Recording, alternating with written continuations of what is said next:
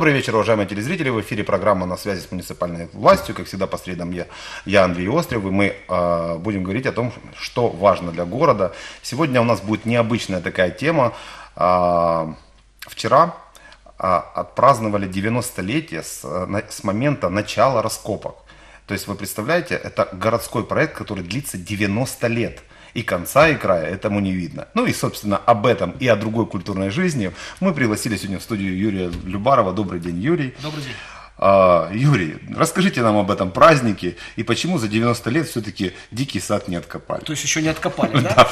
А, ну, надо сказать, что на самом деле этому городищу уже тысячи и тысячи лет. И вчера этот э, день начала раскопок 90-летия совпало же еще и с э, профессиональным днем архитект, э, археолога. Угу. Поэтому вот вчера собрались археологи на самом известном в Николаеве месте для того, чтобы рассказать, как это все происходит, как происходило.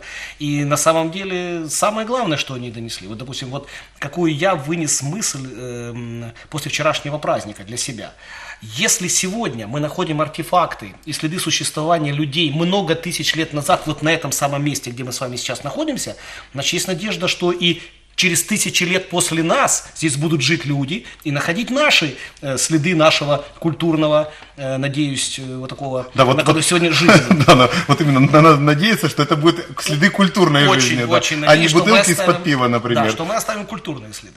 Да, ну хорошо.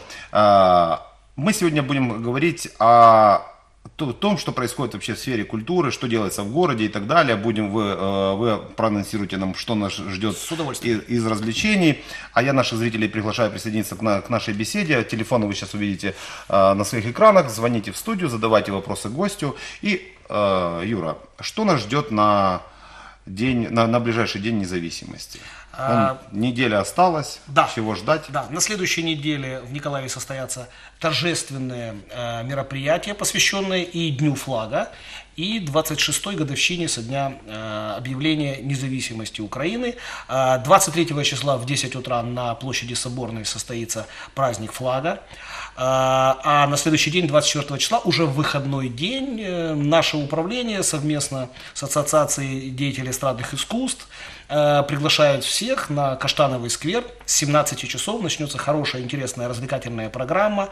Будут и мастер-классы, и казацкие разваги, и э, выступления больших, маленьких, известных и неизвестных артистов. Выступление в финале замечательной живой николаевской группы, такой, знаете, такой украинский рок-фолк, я бы назвал, такая группа «Индиго». А вот. Э, я думаю, что Хорошая будет, будет программа, будет интересно. Конечно, выходной день лучше провести всем вместе. У нас название праздника это Твій день Украина. Это наш день, это ваш день, это день нашей страны, поэтому мы его должны вместе отпраздновать. А на Соборной площади будут какие-то мероприятия? Там вот, э, я помню, э, были флешмобы на День города, или это все-таки планируется на День города? К Дню города, к Дню города ближе, и Соборная площадь тоже заполнится людьми. Ну вот давайте тогда сразу и перейдем и плав, плав, плавно да, к Дню города, давайте. потому что я не уверен, что вы до этого, до, до Дня города ко мне попадете на программу, и поэтому давайте уже сразу анонсы чтобы было нашим зрителям интересно. Значит, 16 э, числа, э, в субботу, э, День города начнется с открытия выставочного такого городка. Городок, выставочный городок. Что это такое? Это, ну, на наш взгляд, День города – это день каждого горожанина. В этом году мы э, девизом взяли такую э, фразу «Миколаев – место солнца». Э, солнце в этом году доказало, что вот Николаев самый солнечный, наверное, на планете город. Я думаю, что все с этим согласятся. А Солнце – это человек. То есть город э, и человек – это, в принципе, одно и то же. Мы должны гордиться нашими людьми, которые уже что-то сделали в городе, которые сегодня живут, которые делают что-то каждый день. Поэтому все, кто захочет, в этот день сможет выйти на улицу Соборную, на площадь Соборную и ну, не побоюсь этого слова, порекламировать себя, свой бизнес, э, свою культуру, свое творчество. То есть мы сделаем выставки э, всего того, что сегодня делается хорошего в Николаеве. Это будет и управление по делам э, семьи и молодежи, управление э, э, здравоохранения, управление культуры, управление образования. Четыре района представят э, свои такие выставочные городки. Так что вот можно будет в этот день за несколько часов на выставке увидеть самое лучшее, что есть в нашем городе. Вот это такая идеология. Угу. А как, какой вообще план мероприятий? А, есть приблизительно да. понимание, во сколько он начинается и когда, когда финал? Работа выставочного городка начнется на площади Соборной в 11.00. А, ожидаем несколько сюрпризов. А, в принципе, хотелось бы, чтобы впервые э, в такой праздничный день э, городской голова лично объявил мужем и женой те пары, которые в этот день будут бракосочетаться. Вот, мы это, знаете, как вот выходит да. городской голова, и вот там да, красиво да. такой на магистратской площади объявляю вас мужем и женой. Э, пройдет парад карапузов, э, пройдет масса всяких флешмобов, каких-то интерактивных акций, сделаем там и фотозоны, сегодня это очень модно.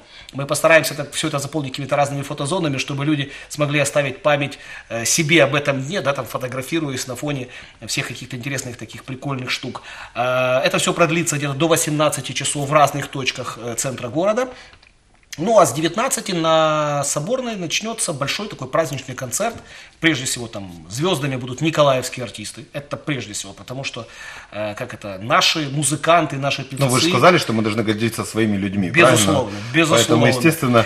Будет живой оркестр. у нас. Вот мы прошлый... будем петь и танцевать под живой оркестр. Э, но без гостей мы тоже не обойдемся, поэтому э, праздничный концерт завершится выступлением известных э, в Украине и даже за пределами Украины гостей. Ну, э, в прошлом году очень сильно раскритиковали хедлайнера, если вы помните этого концерта за его песню, которая, ну, собственно говоря, э, ну, специфическую песню. Кто в этом году будет хедлайнером? Я, Это... сейчас, я сейчас не готов сказать, я не председатель оргкомитета, мы ждем от председателя оргкомитета объявления, он должен объявить, кто гостем является, но я скажу еще раз, это будет действительно интересный артист, э, но я бы не хотел, чтобы люди в этот вечер пришли только ради того, чтобы посмотреть на звезду. Нет. Я считаю, что э, надо прийти, чтобы вместе быть в некой праздничной атмосфере. Почувствовать Много, единство. Единство, что мы вместе, мы живем в одном городе, мы э, ходим по одним улицам, и все, что мы делаем, хорошего или плохого, не дай бог кто-то делает, мы делаем все-таки для себя и для своих соседей, значит для нашего города. Мы делаем, знаете, такую фишку, вот я... Э, мы придумали, я сейчас объявлю, наверное, ее уже. Э, Николаев город солнца наша тема. И те, кто в этот день придут в одежде цвета солнечных цветов, в солнечных цветах, там, uh-huh. в желтом, в оранжевом, в красном, тех мы будем пускать в фан-зону, они будут там танцевать уже прямо вот непосредственно под сценой э, со звездами, и с николаевскими, и с приезжими. Тоже такие Здорово. фишки будут. Здорово. Ну что ж, э, я надеюсь, э, те, те, кто э, смотрит нашу программу, в принципе, э, кусочками, надеюсь, останутся довольны нашей, нашей рекламой. Собственно говоря, то, что город приготовил для своих горожан, э, именно для того, чтобы рассказать об этом мы и собираемся здесь в студии каждую среду. Ну, теперь поговорим немного о, скажем, делах насущных. Давай. Вы не так давно, собственно говоря, возглавили это управление, и э, ваша работа была высоко оценена, высоко оценена э, горожанами, э, имеется в виду ваш, период работы вашей сказки, и, собственно говоря, от вас ожидают, наверное, какого-то, может быть, ну, ну, прорыва в сфере культуры. Какие сегодня, как, как вы считаете, с какими проблемами вы, вы столкнулись, э, что, что возможно решить в краткосрочной перспективе, в долгосрочной, и какую основную цель вот своей работы вы ставите? Что считаете вы вот, э, успехом на этой должности? Я считаю успехом, наверное, буду считать, если э, смогу все-таки сделать что-то полезное для э, культуры города. А потому что управление по вопросам культуры э, не должно замыкаться только на тех учреждениях коммунальных, которые сегодня находятся в нашем ведомстве. Безусловно, первая работа, которая есть у управления, это заботиться о тех, кто находится в нашей структуре. Это библиотеки, это музыкальные, художественные школы эстетического воспитания, дома культуры, зоопарк, детский городок «Сказка» и другие наши коммунальные учреждения. Первое, что мы должны о них заботиться, об их материальной базе. И в этом году, наверное, все-таки рекордное количество наших учреждений зашло в ремонты. Зашло или заходит, или находится в подготовительных стадиях ремонта. Потому что, ну, действительно, материальная база ну, наших библиотек, музыкальных школ, ну, все-таки оставляет желать лучшего.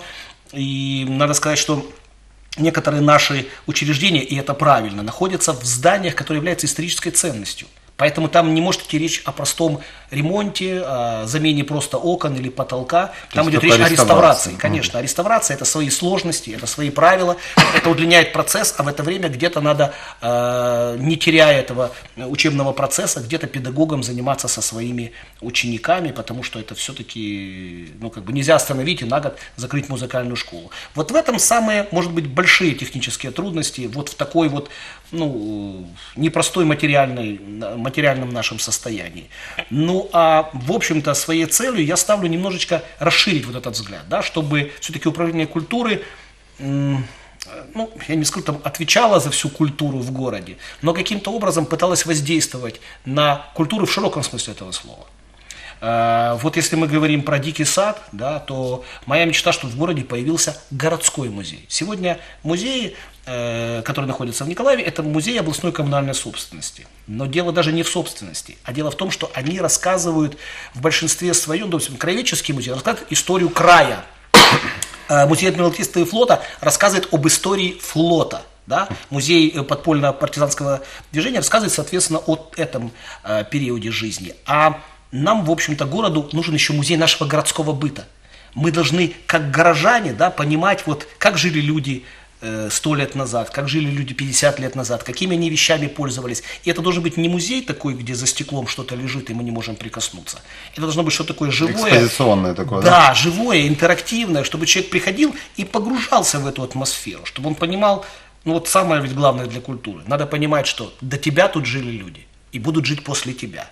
И это тогда дает тебе какое-то понимание того, что ты не один, и надо вести себя хорошо, в конце концов. Это есть. Вот, а вести себя хорошо. Я, в принципе, не хотел затрагивать, но вы много раз меня подводили под, этот, под эти вопросы, да. А, ну, прочитав наши новости, да, вот новостные сайты наши, мы а, вот э, мой коллега Игорь Пох очень часто это отмечает в своих постах, да, там, из, например, из 15 новостей 9 негативные, ну, три полунегативные и три нейтральные. То есть хороших новостей как таковых нет. И очень много новостей, новостей связанных с, ванда, с вандализмом, с какими-то проявлениями такой вот откровенной, откровенного бескультурия. Да? Мы, как страна, выбрали себе вектор европейских ценностей. Европейские ценности это и взаимное уважение, и достаточно высокий культурный уровень по отношению к друг другу. А, Юра, вот у меня такой вопрос. Вот э, я в себе очень часто задавался им, и у меня ответа, например, нет. Может быть, э, у вас где-то будет такой, ну, скажем, может, концептуальный ответ. Вот как э, значительно улучшить или увеличить, или, э, не знаю, покращити Э, культурный стан вот, нашей, нашей, особенно молодежи. Потому что за молодежь больше всего вызывает, э, собственно говоря, такую тревогу, например, у меня, наблюдая те, наблюдая э, те ценности, которые вот они проповедуют. Да, вот, не секрет, что в любой район, зайдя вечером, вы столкнетесь с, с компаниями, которые распивают там алкоголь, кричат мат и так далее и тому подобное. То есть, собственно говоря, вот такой некий ну, вот э, складывается ощущение такое, что город такой вот, ну, далек от культуры. Вот что, по-вашему, можно сделать для того, чтобы стимулировать развитие, развитие культуры и поднять общий культурный уровень? Я думаю, что в этом случае надо нам поступать как, э, с, как англичане поступают с газонами. Удобрять, поливать и стричь. То есть нам надо внедрять что-то хорошее – нам надо все-таки, ну, не нам, управлению по вопросам культуры, ну, как бы другим органам государственным институтам наказывать за что-то плохое, вот, и набраться терпения, потому что ну, нельзя создать э, культурный слой и как бы внедрить культуру за одну секунду. Это процесс длительный, это выращивание. В общем-то, ну, что такое культура? Да? Это все небиологические проявления человека. Все, когда человек не ест, не пьет, и не, ну, спит, и, да? и не дышит, и не спит. Да? Все остальное это культура. Культура труда, культура поведения, культура быта и все остальное. Вот это все все-таки воспитывается. По поводу молодежи, ну да, может быть, конечно, молодежь сегодня ведет себя, может быть, более раскованно, да, там, чем, например, в моем детстве. Но о том, что молодежь плохая, говорили всегда, и тысячи лет назад, и через тысячи лет будут говорить, и говорить, фу, какие они вот плохие. Но я обратил внимание, что в последнее время, если на переходе кто-то переходит на красный свет, то это взрослые люди. А дети и молодежь в основном все-таки стоят на, на красный свет и ждут зеленого. Ну, не знаю, вот я что-то обратил внимание, мне кажется так. Раньше было наоборот. Вы знаете, я, я вам скажу, это э, я тоже это, на, на это обращал внимание, и иногда вот очень было приятно, э, например, обращать внимание, нет никого, загорится зеленый, пойдем. Да. Это, да. это вот. Это, это такая фишка. Это ну, хорошая фишка. Ну, да, может быть, это флешмоб какой-нибудь такой. Ну, слава богу, он что, при, он, что приводит к позитивным результат, да. результатам. Да. да, но и при этом я скажу, что не надо бояться тратить средства на культуру. Да, если мы говорим о том, что вот, ну что там, что там выделять там на музыкальную школу, там на библиотеку, там на музей, даже на концерт, даже там условно на день города. Вот, э, так что там, что у нас других проблем нет, а что мы уже все решили, а что мы уже все заасфальтировали, а что мы все крыши починили. Мы никогда не починим все крыши, мы никогда не решим все проблемы. Но при этом, если... Жизнь-то продолжается. Конечно, если человек 8 часов работает, 8 часов спит, так он 8 часов должен отдыхать, развлекаться. Развлечение, отдых и хорошее настроение – это то, что даст человеку возможность завтра работать, с хорошим настроением идти на работу и так далее. То есть средства, ну, я не говорю сейчас там выбрасывать деньги на фейерверки, на все это, но, э, ну, как бы отказывать людям в культуре нельзя. Ну, культура тоже разная. И библиотеки должны быть, и музыкальные школы, и, наверное, все-таки рок-концерты, и хип-хоп мероприятия. То есть это все культура. Ну вот как вы считаете, смотрите, вот есть у нас объекты, объекты культуры, да, которых вы перечисляли, это библиотеки, там, музыкальные школы, там, специализированные заведения, uh-huh. которые вот э, как раз позволяют э, в основном детям реализовывать себя в плане э, роста там, ну, культурного роста, да. Как вы, как вы считаете, на сегодняшний день э, есть заинтересованность в горе, э, вот у молодежи э, посещения таких э, мероприятий? Или, например, библиотеки посещают более уже там, люди ну, старшего возраста, а молодежь не тянется?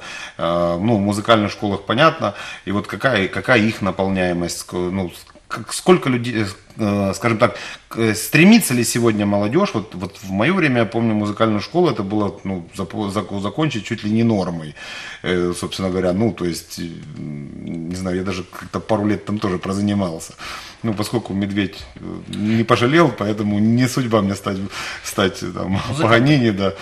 А, как сейчас это, как с этим обстоит дела сейчас? Мне тяжело сказать, сравнивая там с прошлыми годами или это, но интерес есть, интерес будет всегда. А, в музыкальные, музыкальные школы э, сегодня, ну и, и уже очень давно, это ведь начальная ступень профессионального образования. Это ведь не просто музыкальный кружок, я иду учиться играть на гитаре, потому что э, хочу э, научиться. Это ведь все-таки Э, ребенок заканчивая музыкальную школу, он получает документ, который позволяет ему идти учиться дальше, дальше и дальше. Он может идти, то есть это все-таки первая ступень э, внешкольного, но образовательного процесса.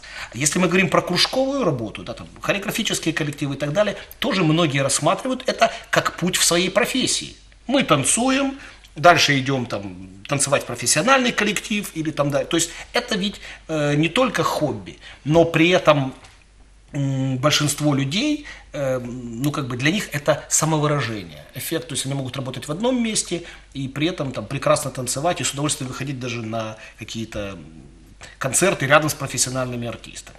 Если мы говорим про библиотеки, вы говорите, э, библиотеки взрослые, нет, библиотека как раз больше детей. То есть, ну, будем говорить так, и школьная программа заставляет э, детей туда идти, но и библиотеки сейчас другие, они развиваются. Там и интерактивные, компьютеры, какие-то кружковая работа. Э, и моя задача в том числе помочь библиотекам стать немножко другими, чтобы они из книгохранилищ, которыми они уже перестают быть, становились просто центрами досуга литературными центрами кружками, знаний такие, центрами да? знаний. Да не знаю, там, э, сейчас разговариваю с одним из известных николаевских писателей, он начнет вести там э, курсы э, писателей для взрослых и для детей. Он будет учить желающих людей просто писать. Ну, какие-то произведения, будет там, они будут сидеть, критиковать. То есть такая литературный, э, литературный кружок. Именно не стихи, а именно прозу, что в Николаеве э, на самом деле ну, проблематично. Если поэтов в Николаеве много, то прозаиков э, нет. А это как раз и проблема для города в плане его пиара. Потому что э, вообще на самом деле все пиарится и становится известным через художественные произведения. Да? Если мы говорим там, что Одесса, Одесса это одесские рассказы. Да? Если да. мы говорим Нью-Йорк, то мы Нью-Йорк знаем по художественным фильмам. Так вот, чем больше будет книг и фильмов когда-нибудь о событиях, которые происходили в Николаеве, тем больше наш город будут знать э, за пределами нашего города. Ну и сами жители будут гордиться тем, что, Конечно. И как Конечно. про од- один из э, исполнителей спел песню про Одессу, я го- горжусь, что здесь родился и вырос, здесь и умру, да? Ну, эм, если, э, хорошо, А, С этим, э, с этим как бы э, понятно, а, тогда, такой- тогда такой вопрос. Если мы, если мы говорим, например, о какой-то дорожной карте культурного Николаева, то есть э, я сторонник, я, я всегда во всех своих как бы начинаниях, я сторонник того, чтобы э, если ты что-то хочешь показать, то должна быть какая-то карта, которая непросвещенному в этой отрасли человеку да, давала возможность что-то познать. Ну, например, э, приведу параллельный пример, да, там, придя в какой-нибудь музей, да, ты там, или э, в какой-нибудь такой больш- большой, большой такой э, экспозиционный зал, ты там берешь какую-то программку и по ней как бы ходишь, как по карте, да. Вот э, есть, существует ли у нас или планируется, может быть, такая культурная карта Николаева для того, чтобы э, людям, которые, может быть, где-то бы и хотели, но не знают, где посмотреть, где узнать, а вот э, именно о культурной жизни Николаева.